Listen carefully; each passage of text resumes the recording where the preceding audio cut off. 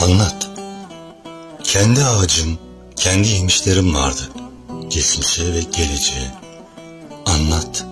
Sessiz de Ağustos böcekleri, yanarken bir kıvılcımla ben, bağladılar karalar. Anlat. Ah dedi kırılan dallar, hiç kımıldamadan. Anlat. Bekleyenlerdi ayakları yerden bağlı, her biri dibine gölgeli.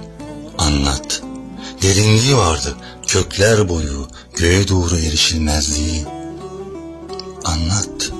Kuş hakkı meyveleri, yağmurlar kesilince yerle bir düşen yüzleri. Anlat.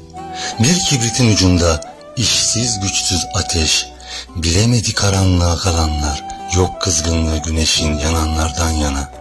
Anlat, akar gider su, yatağını bulmuş iskimiş çöller, yol gözleyen uyumlu dallar için yolculuğunu. Anlat, yorgun okyanuslar gibi istemezse ağaç, yaprak bile atmaz kendini yere.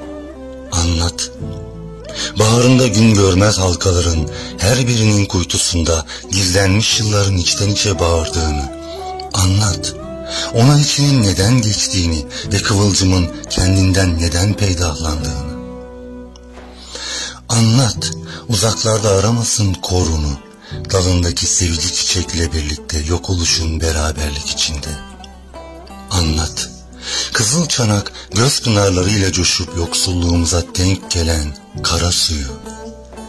Ve anlat, sığındık, yapıştık eteğini, yüzü gün yanığı, küçük bir ova gibi dağların bağrına bağrına, kuru yaz otları ve ağaçlarla.